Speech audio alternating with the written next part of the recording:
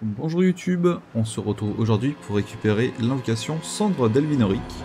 Donc pour ça on va partir du patio d'observation lunaire royale, qui est en fait euh, le site de grâce que vous allez débloquer en battant euh, Loretta, donc au domaine de Caria, au nord-ouest. Et comme vous voyez là on va juste faire le tour, donc sortir du château, on va faire droite, puis encore droite, pour longer la muraille. Et ensuite, on va aller récupérer euh, les cendres qui se trouvent, et bien en fait, euh, pas si loin que, ça. Donc, je vais aussi euh, en profiter. Donc là, vous voyez, on va à droite, on reprend à droite, et tout simplement, alors, vous pouvez prendre le, chemin, je crois qu'il y a quand même deux trois petits ennemis qui traînent. Rien de bien méchant cependant.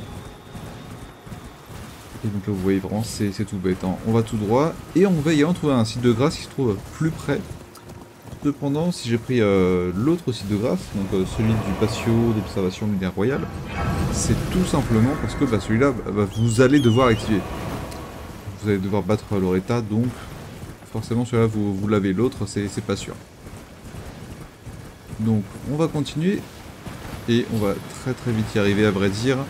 Donc, là, nous sommes dans un cimetière, cimetière où vous avez hop, et là, Cendre d'Alvinoric, Ghetto d'Azé. Voilà YouTube, cette vidéo vraiment très courte. Bien, n'hésite pas à liker et à t'abonner si elle t'a plu et surtout si elle t'a aidé. Je te dis à très bientôt.